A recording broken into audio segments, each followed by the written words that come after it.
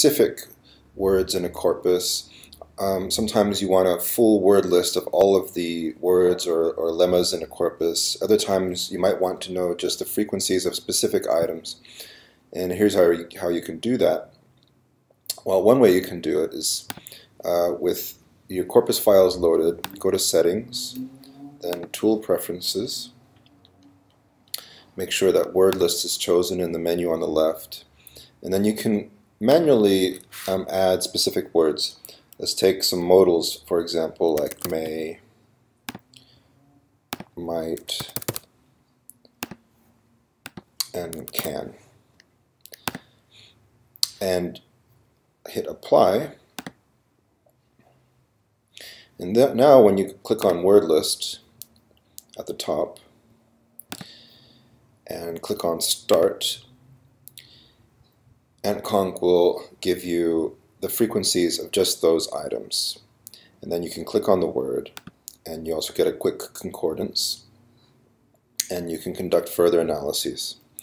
Now if you have many items that you want it to look for, it might be more efficient to uh, type up the a list in advance and save it as text, something like this, where here I've created a file called match list modals. And that's simply I created that on Word and then saved it in, as uh, pu uh, pure text or uh, just txt. And with that saved, obviously it could be a lot longer than this. You can load this onto um. So let's clear the current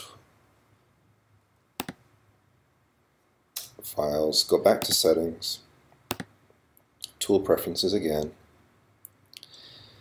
clear this, and let's load uh, an example file. So we click on open, click on the match list modals file, open,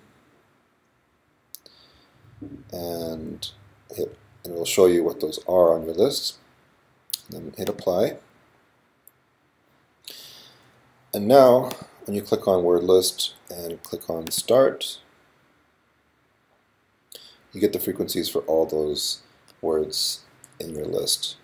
And obviously it can be as extensive as you'd like it to be. And that's how you create a match list for AntConc.